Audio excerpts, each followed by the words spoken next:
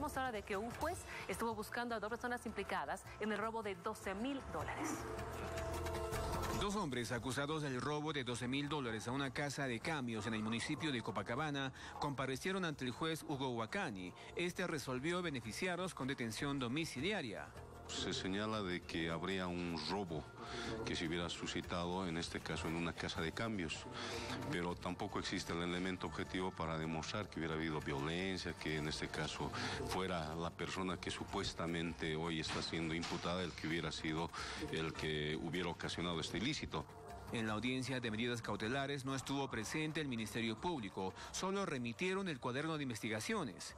Son dos personas, ¿no? Pero supuestamente hay uno que se habría identificado y el otro que sería el cuñado que habría ido a ver qué es lo que estaba pasando, lo logran también aprender.